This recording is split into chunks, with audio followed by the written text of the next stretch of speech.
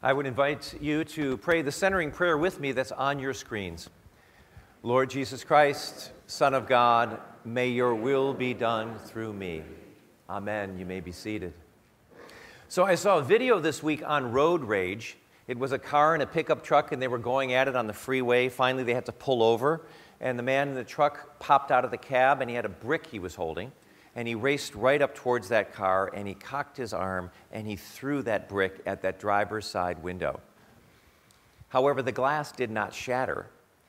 The brick bounced off the glass, conked the guy in the head, and down he went. Meanwhile, the guy in the car drove off. When we seek to hurt others, we are often uninjured. When we try to hurt other people, often we get hurt. I wonder if somebody hurt you today or this week. I wonder if somebody was promoted past you when you were better, more deserving, and better equipped. I wonder if somebody hasn't met your expectations and so you're hurt. I wonder if you're hurt because you haven't lived up to your own expectations. God wants us happy, healthy. God wants us prosperous and peaceful. The Lord wants us to partake of the blessings that we have through Jesus Christ. God has a plan for us to live through.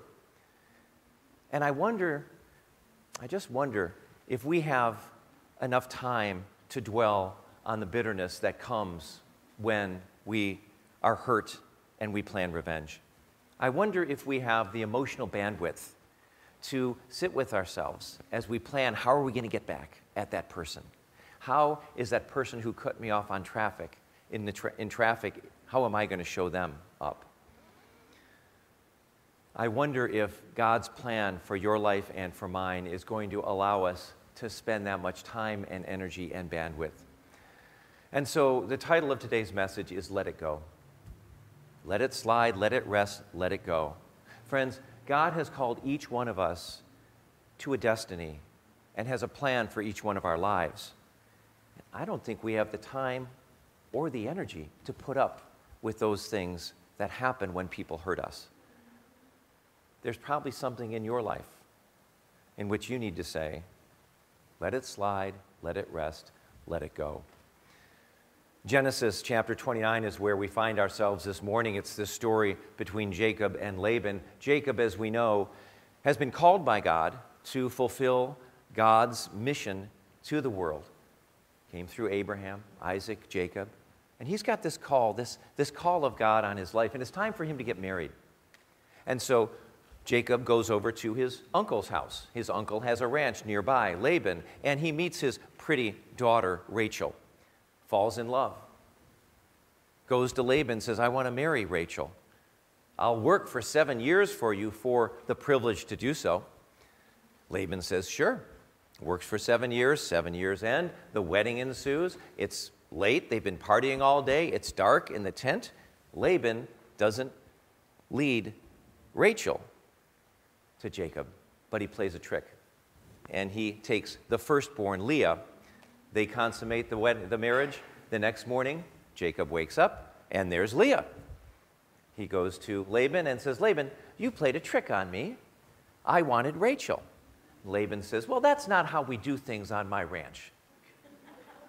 We give the oldest and then we give the youngest. If you'd like the youngest, it'll cost you another seven years. What I love about this story is Jacob's reaction. Jacob does not throw a fit. Jacob does not throw a punch. Jacob does not throw in the towel. Jacob lets it rest. Jacob lets it slide. Jacob lets it go. Why does he do that? I think it's because Jacob knew that God was at work. Jacob knew that God had a plan. Jacob knew that God was up to something in his life. I think God has a plan for you. I think God is up to something in your life. And so when you are hurt, like Jacob was hurt, what's it like to take the same stance? Rest in faith, remain steadfast, that God is at work through that hurt and through how we handle that hurt. Learn from Jacob. Let it slide, let it rest, let it go. You know, back in March of 1944, President Franklin Delano Roosevelt was meeting in his White House office with a new curate from St. John's Episcopal Church across the street, a couple other people, and they were planning his annual anniversary of his inauguration. And after some discussion, the young curate, his name was Reverend Howard jo- Johnson, Howard Johnson took some notes, went back to his office, and he wrote up the liturgy for this very special occasion. And in that liturgy, he included a collect that's still in your prayer book. It's called the Collect for, of Prayer for One's Enemies. Okay? He wrote up that liturgy, he showed it to his bosses. His bosses took one look at it, and they said, wait a minute, it's 1944. We have sons and daughters of our people who are being killed by the Japanese and the Germans. We can't put a collect of prayer for our enemies into such a service. Why? America is just not mature enough in their Christianity to be able to pray for their enemies. We'll be the laughing stock. It'll make the news, it'll be an embarrassment. Howard Johnson, the young curate, said, Why don't we let President Roosevelt decide? And so he took that liturgy over to the White House. The White House reviewed it, returned it to Reverend Johnson, and he opened up to the place where that collect was written. And President Roosevelt himself had taken out his pen and had written three words next to that collect for prayer for our enemies. I like this. And so, sure enough, that marked the final service of his anniversary of his, uh, of, of his installation as president. And what did people hear? But humility over hubris. They heard respect over revenge. They heard going high instead of going low. But, President, we're at war. Let it go. Let it go. Friends, we know we live in a very vengeful world. Bruce Willis and, and, and Bruce Lee would have no careers if we didn't love vengeance. but don't take the bait. Don't hit back. Turn the other cheek. How many times does Scripture remind us to turn that other cheek? To, to be the, the tall person in the conversation. Friends, we were reminded in our second reading today when we heard St. Paul say, You have the power to do this because you are more than conquerors through Christ Jesus, who has given you the power, certainly the power to be president, the power to have a gun. No, the power to forgive. That's the tough work. The power to say, You know what? I'm not going to hit back. I'm going to let it slide, let it rest, let it go. There were two elephants, a mother and a father, a mother and a son, and they were on the savannah, and there were a couple of elephants walking by. Young elephants. The first elephant was, was rather gaunt, was, was, was kind of stumbling along, looked rather sad. The second elephant looked rather happy, had a, had a spring to his step, and the little boy asked his mother, Why is that first elephant so sad looking? And why is that second elephant so happy looking? Mother elephant said, Well, you know, we're elephants. We remember everything. There's nothing that gets past us. And I wonder if I were to ask that first elephant what he was remembering, well, he might say, Well, I remember the time when I came in last at school. It was a field day race. I remember the time I was the last one to show up at the, at the watering hole. I remember the time when, when people were talking behind my back and I walked into the room.